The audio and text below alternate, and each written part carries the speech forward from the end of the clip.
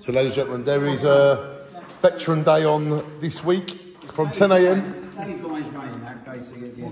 Yes, and it's this. So, ladies and gentlemen, from 10 a.m. and 6 p.m., Martello near Carvery, Clacton Sea, there is a Veterans Day 2023. Is that right, Dan? Yeah, I think the time might be different, but I can give you the time. I think it's a bit, I don't think it's the six something. God bless you, Gary. Thank you very much. Everybody get involved for the Veterans Day this year. And there's the details. Let's go outside and show some things. Gary, what have we achieved this meeting?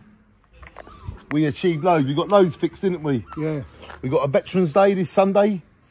We've got donations to people, food and clothes. All the little things that people forget about, we, we tell the council about. They now know what needs to be done, and that's making a difference, isn't it? It sure is. Thank you, Gary, for all your support. And also, I'll um, back in short. Thank you, Gary. No, yeah, we don't smoke inside the church. Whenever anyone wants a cigarette, they come outside the church, and that is how we've done it for years. And welcome to the St. Christopher's Church. And there's the mighty Rob Keegan, does so much for us. Thank you, Rob, for everything.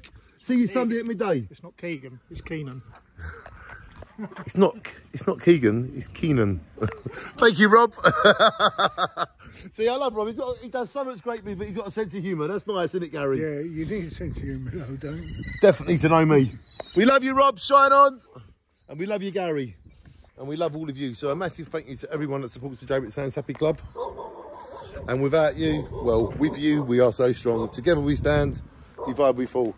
And shine on to the lovely Jaywick Sands Happy Club, which is the first day of August, year 2023. Shine on, white butterfly. Call cabbage white. Shit.